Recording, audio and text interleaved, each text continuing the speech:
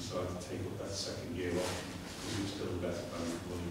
We're more than happy if you're committed to automatic review of that, We need to know. in provide the details. Through you, Chair. Does that really do with you? Is there a further vehicle for that, the, the process that Tom's just outlined there? Is there a further vehicle that, that then can scrutinise that?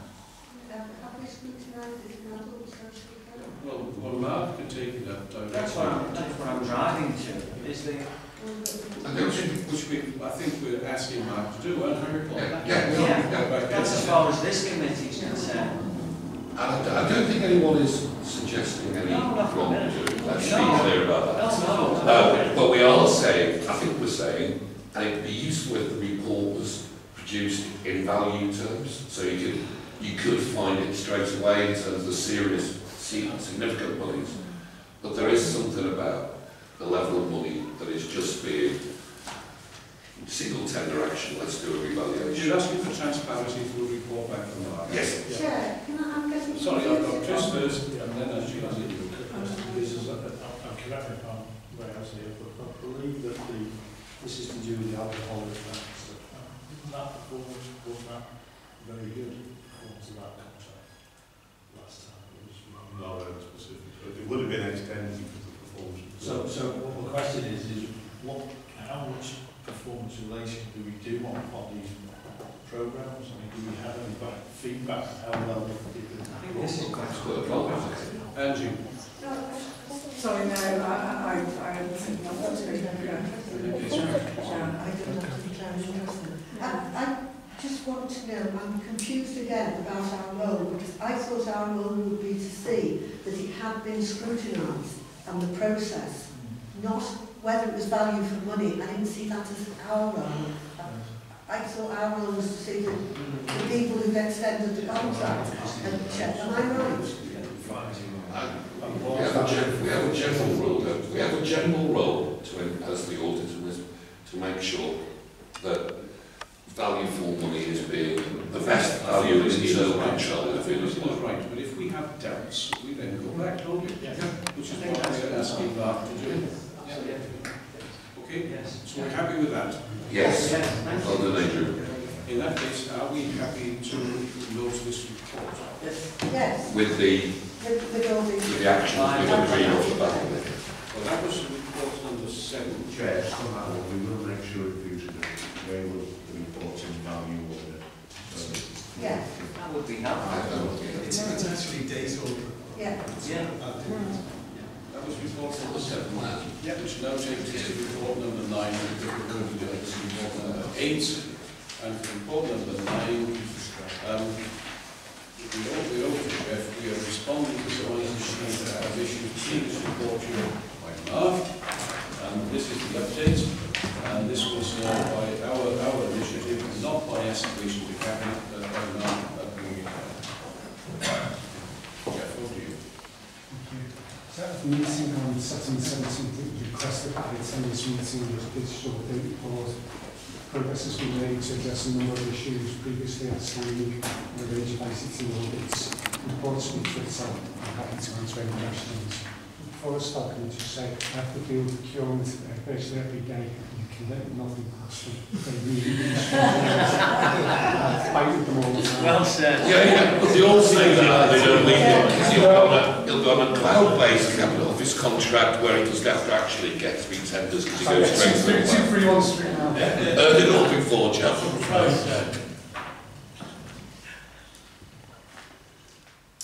Okay, Jeff? That was it, that was it, was it? No, it was a brief report. I mean, I- Any questions? I'm fine with that. I've got a- I've got a quick question, if you don't mind, sorry. Well, you s- you sat here for ages, didn't you?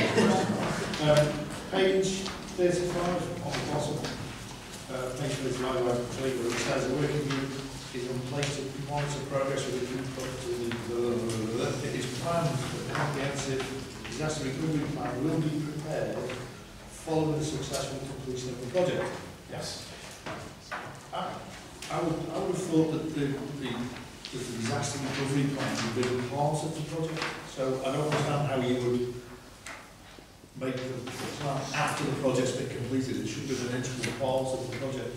the first It place. is, the actual plan would be you have your production over it in Liverpool, St George's Dock, and you have your disaster recovery in, in the Treasury Building first floor. And then um, London's up at both sides because it will be mirrored and, and everything. So if, if anything happens, you would then roll one from one side back, back to the other. But yes, I, I take your point. It, it will be the, the plan. The plan is, is basically there now. As, as what I've just told you, it would be more of the which ones you do first. You know, which is the, the more critical um, applications. Because uh, some of us, uh, some of it's Windows servers, some of it's Unix servers. So um, it's, it's which ones you bring back first. Is that, sorry, could you have chair, quick question, is that, is that down, that decision is down obviously to business Yes. decision? Can we now run through the proper report? Uh, can I ask you? Oh, go on. Sorry. Uh, yeah, a couple of things. First of all, on your, I think congratulations, because someone had come here and given us a load of guff in terms of dates when they're going to be delivered. And I think this report does show, which gives us, gives me personally, some assurance that actually work is being carried out, and therefore I have more confidence that you're getting the dates that you're referencing. um, also, just a couple of things. I did mention uh, GDPR, whatever it was, a little earlier. So if you want to give us a bit of an update on that, that would be su super. But also in terms of the IT contingency disaster recovery, are we clear now that um, you know should someone stick a, uh, a digger through any telephone lines or whatever it is, that the mirror site will will up and run. Because mine currently we have a mirror site that if anyone cuts a single telephone line, the whole thing shuts down. So it's not really a, a contingency at all. So this approach will achieve that. It's more about if you have a fire in the building, where, where the data centre is, or there was an incident, or it's about using the data centre. If, if uh, someone cuts a cable, it will cause short-term problem. But that, that can be, uh, that would be fixed with, with go, we go through one tunnel, I think come back through the other, Yeah. the other tunnel.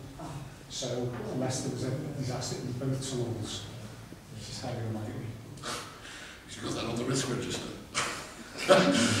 Mike? It is on the corporate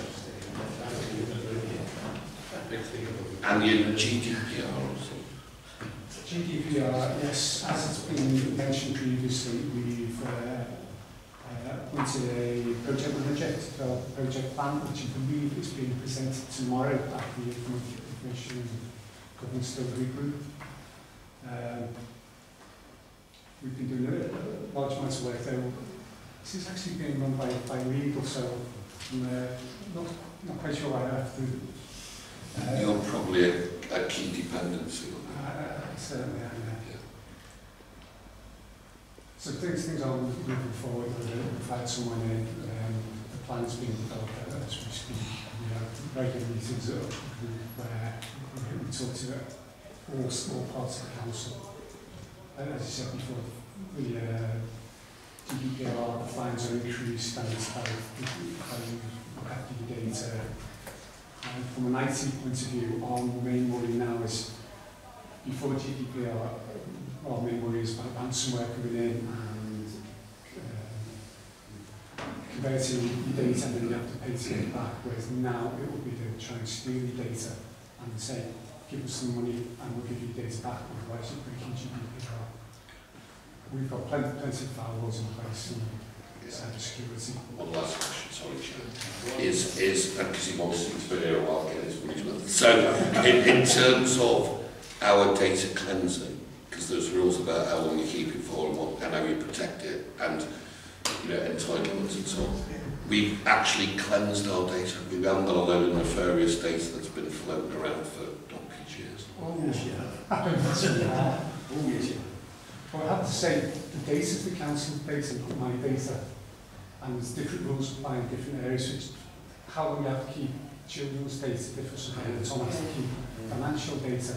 It costs us a fortune to keep data where we do. We're trying to make everyone use we've got a new product called SharePoint where we keep it in the cloud. Because at the moment, uh, in a couple of years, we're going to have to uh, procure for a new sound machine, and the smaller the sound, the cheaper it will be. So we can go through all this data, which is one of the things that G, uh, through GDPR, the Information Governance Group is going to come forward and ask for money to help do this, because in the long term, it will save us money. Thank you, Chair. Well, Chris, Chris, well, just, um, how's the 365 go on? It's going well. Go well. Said he non-committal. And Angie, Um, Jeff, can I just ask you a question on top of page 85 around um, cyber security as, as somebody that kind of worked for a part of the NHS that was um, kind of attacked by, by ransomware last year?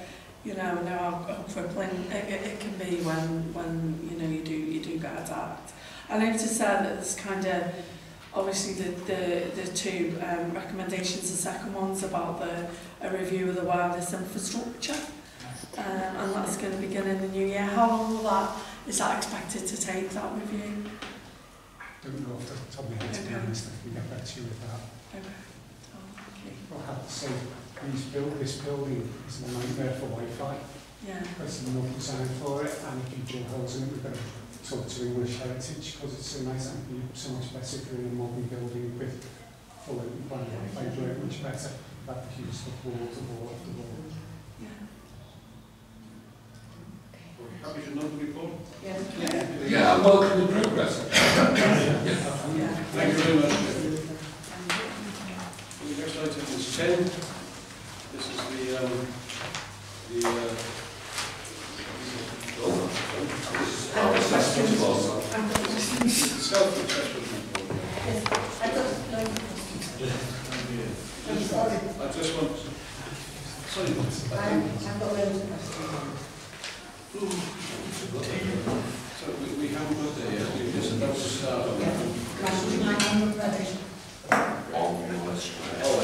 Well, you, you won't be surprised by the time that my, my to go through this with, um, with Mark. Um, I identified a number of points uh, which I felt uh, we were being be a bit hard on ourselves. um, but Mark uh, insisted that he had to be ultra careful. Um, recently, we have, of course, invited professional officers along here to make sure that we have uh, good explanations of their roles in detail for themselves to ask questions. And I think that's been a very important and valuable um, asset to this committee. Um, but the uh, conclusion that I got from uh, from this is that, in, in my view, we're going to be highly compliant. Uh, a few years ago, we might not have been quite as confident about that. So I think we are highly compliant now. That doesn't mean that um, we're perfect. It means that we're very nearly perfect. And Someone's picking me up on that, I'm sure. But certainly, we are now very strongly into member training, and I think that's going to be really important for this for the future. Mark, please, um, please. I, there's not a great deal I can add to that here, other than to say that uh, a simple publication, uh, compared to the tool for lots of other work committees, was utilised as part of the uh, review process. They provided us with a template with various questions and model answers which we followed um, to allow us to reach the conclusions that we have in the report. As, as uh, the, the chair points out, uh, the conclusion on this occasion is, is that yes, the committee is compliant with all of those fundamental aspects of that sort of template. There are clearly areas where we can be improving and then constantly revisiting, reviewing and revising. But, but I say in terms of the fundamentals, yeah, there is compliance now. Committee functions well. It is non-political uh, for the most part. Um, it's said uh, it, it meets with the regulations that's required. for training and development needs are acting review that's so um, at this moment in time I say it was completed with the chair and myself uh, it's thrown out to yourselves for discussion for consideration uh, and if you're happy with the content and conclusion then we uh, Take us very long time to go through a lot of very uh, detailed documents. Christina. Right, first of all, on page 91, number 7, I think we've demonstrated that we do assess our own effectiveness, we've done that tonight. And we've cleared up quite a few hurdles, so I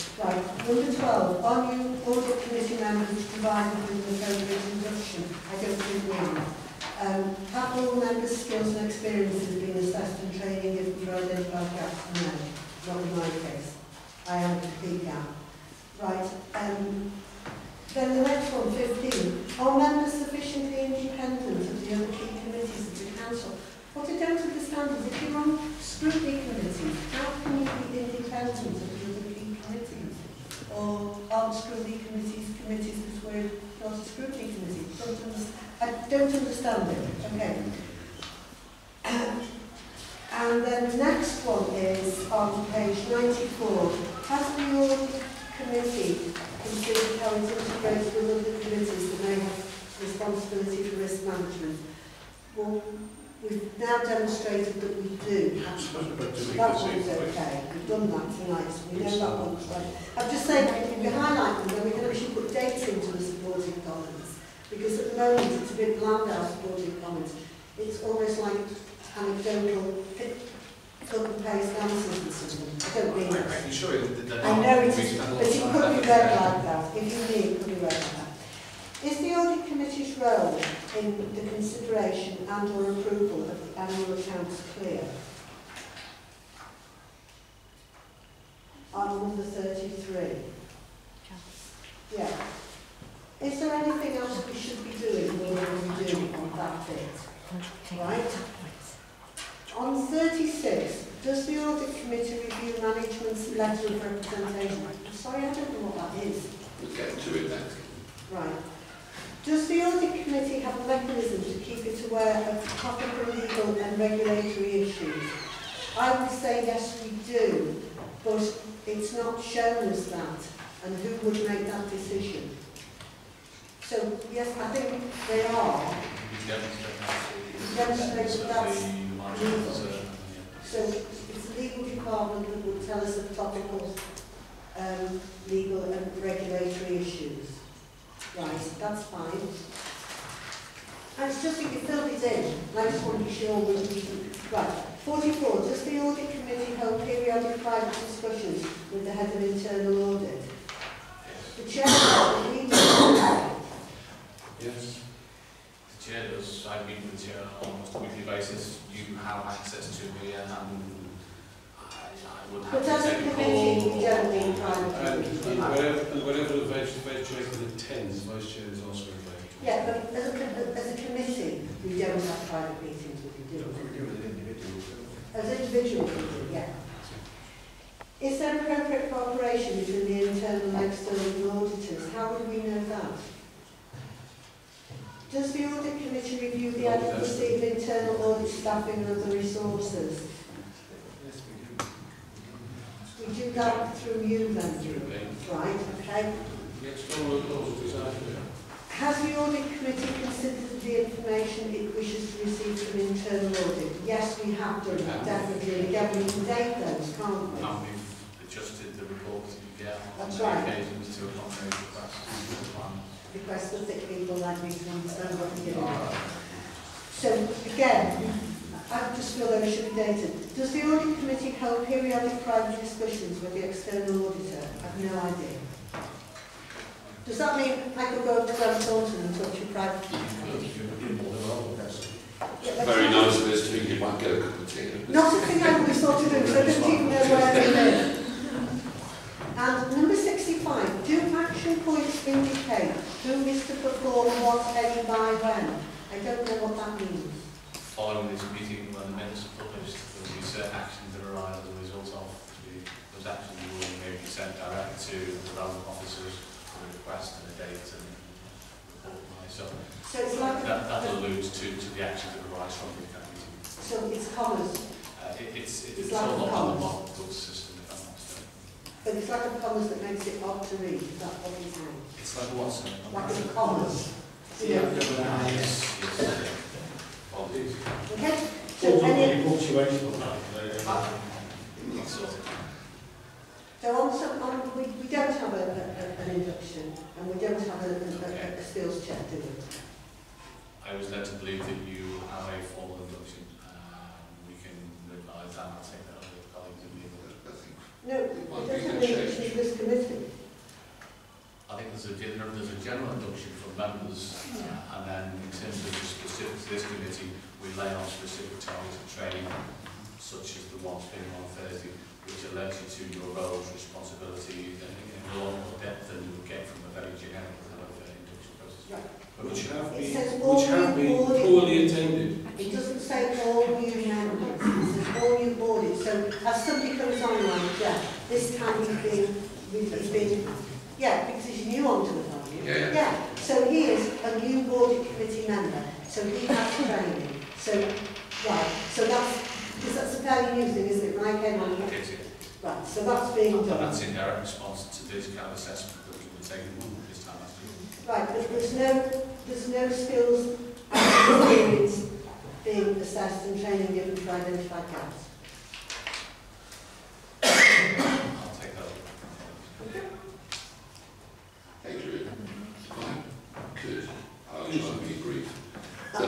I, will say, well done, Christine. That's the most rigorous assessment of the, committee and how it works that I've actually seen thus far. And I think probably it's because you've got a, you've got a checklist to go through. I know some of the, only the other committees got checklists to, to measure themselves against. Absolutely. So that's so that's an advantage, and I do think um, that was pretty rigorous. I I have to say, and maybe now it's is doing this, things might adjust somewhat.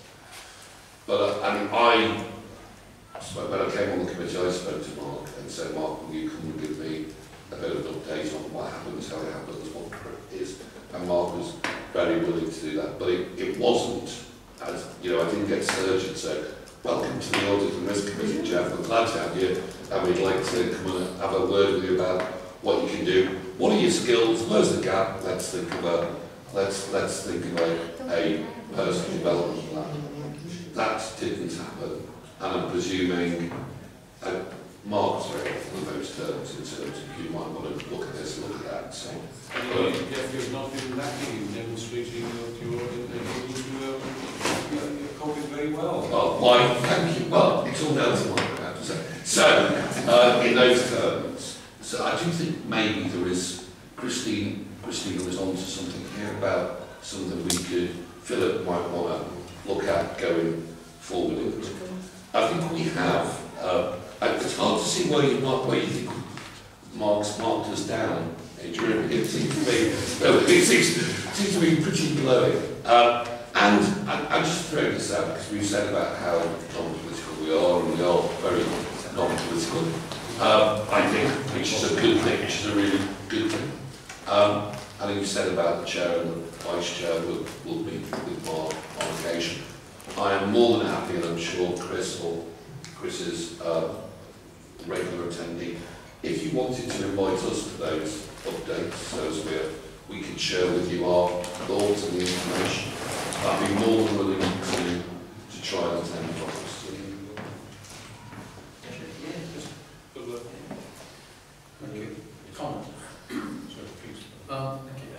Three comments if I may. Uh, the first is, of course, that these self-assessments are great, but like any self-assessment, they're a bit of a tool that all done. Uh, may be disagreement with the questions and how they're framed with, with separate CISC organisations. Uh, but it's an excellent thing, and um, I don't know if the Centre for um, Public similar, but I think they do. Uh, in terms of training and skills assessments, obviously vary. Uh, where I have got involved is in terms of just, and obviously scratching the surface because I'm uh, keeping the seat work, uh, is looking at the overall member development plan uh, and the induction for post-elections next year as opposed to individual committee training when we would indeed look, look to Mark at assisting with any programme. Uh, and of course, in terms of updating on what's going on and all that sort of thing, then, then yes, I'm here. Um, yes, be interested to know what you'd like to be brought forward. Uh, indeed, the other flip side of that training is um, bright, young, brainy things, trainee solicitors, and part of their core and indeed today, is to come along um, and get themselves up. Uh, one of Gemma's uh, first jobs was to deliver training on GDPR because I thought that was a challenge, make that interesting and engaging for us. Um, so, uh, so we- we've got that capacity there, uh, and it's actually a very useful tool. So, as and how members think you would like a little updates. You know, you've heard this thing about what's going on, uh, and- we've all tried it at various degrees, but obviously it takes levels of capacity. So, for example, in the good old days, after the Queen's speech, we will always issue, okay, well, the Queen's speech, here's all the things from our point of view that are going to touch on local government in the coming year. So you and members had a full idea. That, that kind of thing ebbs and flows depending on the resource. But certainly, if anything attracts your attention, we're happy to bring, uh, and anything that we see in terms of our uh, working and something I've certainly encouraged all of, uh, the team to do is to, to get involved in their national organisations. So um, sit for and, regional bodies and to be picking up things there. So we would say, great, okay, well that was useful for us. That's useful for our members as well. So can we add a little bit of time on this just to talk to you about what we think is going on nationally? Can I just add, through you, Chair, Phil, you mentioned the Queen's speech there, we've got a budget tomorrow, not being political, but we won't have to pick anything up from the local government because there won't be anything in the budget tomorrow about local government and all. That didn't sound Not very being- political. not being- not being political in any way there. Well, It's good news. We we non-political. I think Robin, you want to make I couldn't help though, and Phil said about the Queen's speech. Just very quickly, just in response to a couple of queries that Councillor Muspratt raised. So item 36, does the audit committee review management's letter of representation? That is the letter that, um, that Tom signs on behalf of the council, which is a letter to us saying that he's told us all about everything that he should have told us, there's nothing he hasn't told us that he should tell us. Um, so that was, and actually it's in the minutes of the last meeting, so that's what that is. 39, in terms of topical issues, we, uh, at sort of, you know, where, where appropriate, we bring update reports to, which has topical issues around uh, counting, so around and regulatory issues as well. And then finally on 51, in terms of private meetings, um, there hasn't been a private meeting for a while, but it's essentially as required. So more than happy to, to attend a private meeting, either on our own or jointly with internal audit. Um, and assured there's extensive ongoing liaison between ourselves and internal audit. And I just have to say there, Chair, for the benefit of, of people sitting in the back, by private meetings, that, that's a briefings, question and answer. That's not a place where decisions will be made. Yeah. Decisions will follow the rules will be made here. Chair, Chair, just a suggestion. It's something I've seen at um, on the Church Living, where I'm on the audit. uh, the external auditors came along and actually did a kind of reprise of what are the key issues that are in the sector. So other organisations in that sector, what are the key issues that key audit risk issues that they're picking up and, and showing that with us for a discussion around uh, making sure that we're open to, you know, it's the things that you don't see coming and getting. So just open our minds up to some of this other stuff. Um, I don't know if, if it would be possible perhaps for something similar in terms of uh, yourselves to come to us and say, these are the key risks that we're identifying in the sector. Are you sure that you've thought about them? Do they apply or do you need to think about them? If that was possible, I would personally find that really welcome. Yeah. But I, I believe that you're able to do that anyway, aren't you?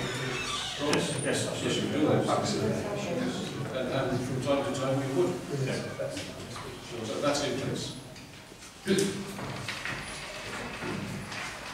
Is that, uh, you with that, what you do? Yeah. Yeah. Okay. Do we have to agree your uh, assessment colours? Yeah, we just, we've assessed ourselves. Okay. We've assessed ourselves.